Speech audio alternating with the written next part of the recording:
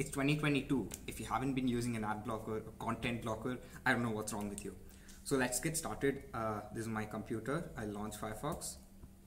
This is uBlock Origin. Probably saw it in my thumbnail. So this is approximately how many um, websites I've blocked. So 70,000 websites, 9% uh, of my total web traffic. So let me just visit youtube.com. It might look something like this, okay? Um, yeah, all of this bloat, all of this trash, low quality content. I don't use YouTube or youtube.com or anything. I just use uh, YouTube DL if I have to download something.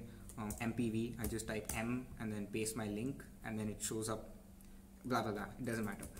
So yeah, you see there's no home screen. I mean, there's no recommendations page. That's also another feature of uBlock Origin. If you're going to use YouTube, I suppose, you go to settings or you can click on this um, element picker. Let's say I want to get rid of this logo, right? Preview. So I click on create and that's gone. So what that does is it creates this filter. You go to settings in your uBlock Origin settings page, um, then go to my filters um, right here. Okay so that was a filter. You can remove it and save. Go back to YouTube and you should see this pop up back again. So I've just blocked the you know the recommendations page. I can just cut this out and then paste it in the description. You just copy it and it should be fine if you like the recommendations page by default use it. But I don't have a Google account so it's no use. I'll just use my filters again and yeah that's about it. You can do a lot of things in fact. So let's just go to my mastodon page right? You can you can inspect if there are third-party requests if there are uh, what do you call trackers on the page. So there's no trackers on this page so it's good.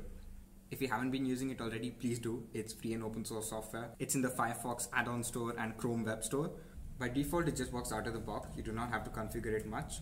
Um, so just install it and then go continue in your browsing.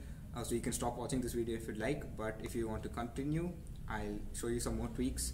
So go to the settings the dashboard enable I'm an advanced user enable these four um, these four privacy settings. Go to filter list and then where it's this plus button click on that. It'll expand all of these lists yeah that's about it. You can enable some more regional lists if you if you're living in China if you're living in Germany.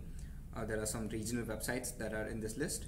If you live in these regions uh, then check that out. Now let's just visit some news website. Yeah so it's loading. And as you can see like once a page slowly loads it's loading more and more trackers more and more requests are being blocked. Uh, so let's just disable javascript. It's a news website.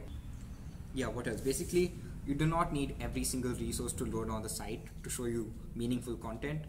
Uh, let's just click on this article. What's an article? It's just text right? Text and images. That's all you need. Boom. It, it's loaded much faster. And you can see this uh, purplish color tint to this tracker icon uh, because we have blocked javascript.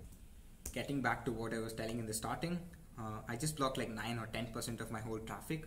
I don't visit ad infested sites no youtube you know try to get rid of all of those sites go back to like easy blogs um, the fediverse all of that which actually respects the user. Go to my website, click on videos. It's always in the description or on my YouTube channel also. These links. Uh, yeah, and then you can find me on PeerTube and on LBRY. Second, if you really like people's work, should fund them directly, just pay them, or uh, you know you have recurring monthly subscriptions that they can buy.